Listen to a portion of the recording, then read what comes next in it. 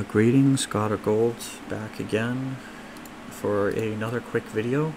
Now, I've noticed that there has been a series of events that, you know, been going on with Gmod as of late, and according to what I know, this has been an issue going on for the past few months.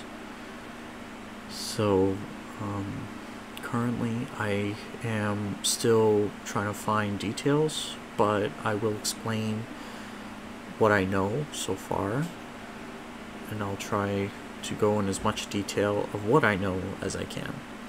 So, if you look to your left on my screen, you'll see that Nintendo, or at least Nintendo related uh, franchise add ons, 20 years worth of it on Gmod's workshop, is apparently being taken down. Now, I have been hearing reports, mainly of articles or users that were in a panic. And these articles say that Nintendo was legitimately involved in taking these down. Now, because of my skepticism, I have a hard time believing because as bad as Nintendo has been in the past, I doubt they would do something this heinous because um, Nintendo has been very anti-consumer for some odd reason. They don't like whenever you make money and you try to help promote them, they obviously want a share of that.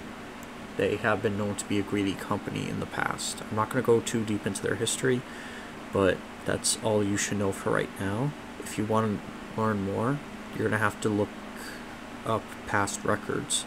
But for now, I just want to go over this topic. As bad as Nintendo is, I doubt that they would do something this heinous, because Gmod add-ons are free, under fair usage.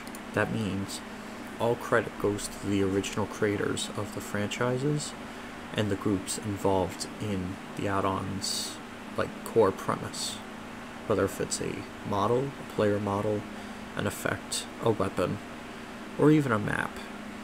And this has been happening for a bit, and according to recent reports, um, I am getting stuff that it is not actually Nintendo doing this because I'm hearing reports of a so called imposter or someone who's pretending to be Nintendo or working with Nintendo to try and flag and take down content forcefully, basically bullying into them being taken down towards the community of the Steam Workshop.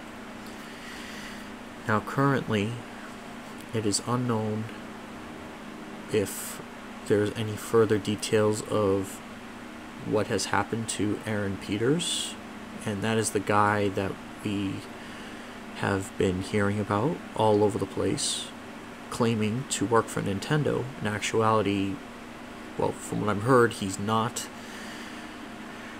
Um, honestly, I think this is probably true that he is an imposter.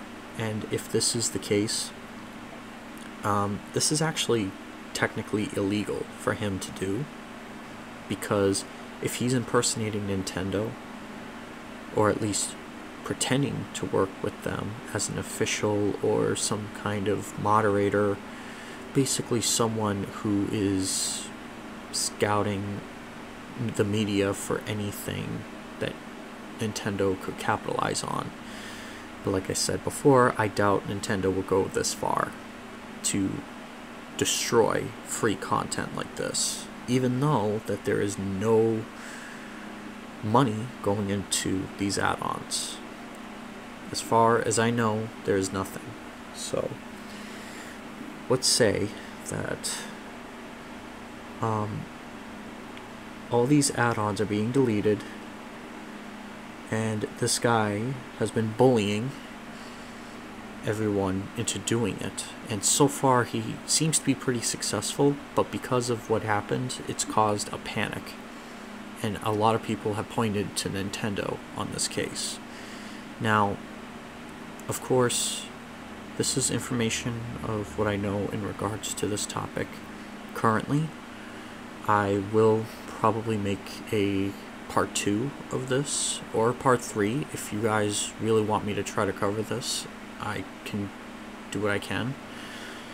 Um, and if you look on the Steam Workshop, in response to everything, a lot of people, again, pointed to Nintendo.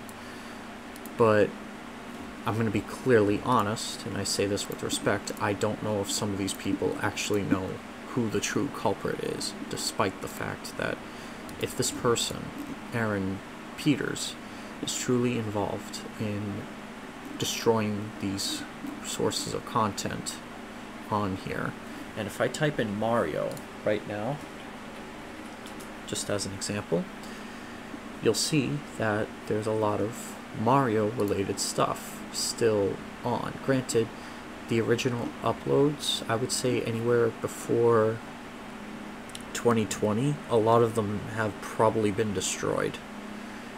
But there is an archive to these add-ons. I, um, someone, I forget the name. Uh, the name is in the description down below, but they've done an incredible job trying to archive all these add-ons potentially for future re-upload once the dust settles which I seriously hope they do because these add-ons do not deserve this kind of treatment this is heinous and if this person this imposter of Nintendo is ever caught I would safely assume that Nintendo would definitely bring him to justice. Granted, I don't know if it's going to happen anytime soon, but or if this guy is just some kind of strange internet troll. I will never know the full truth because I've literally was recently hit with this like notification of the whole thing.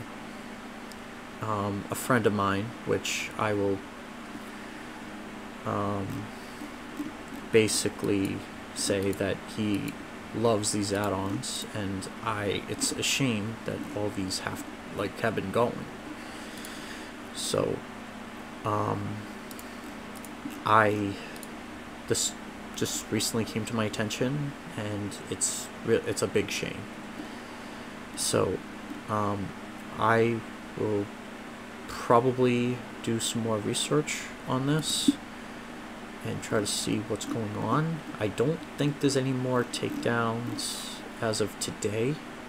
A good amount of them have been re-uploads. And this, well, Mario 8251, I don't think that's it. But yeah, so as heinous as Nintendo is, I doubt that they would ever do this.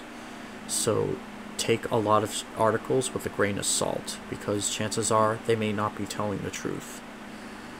So, um, I wish you all a good day or good night, depending on where you are, and then I'll see what more I can investigate. So, that's it. So, take care.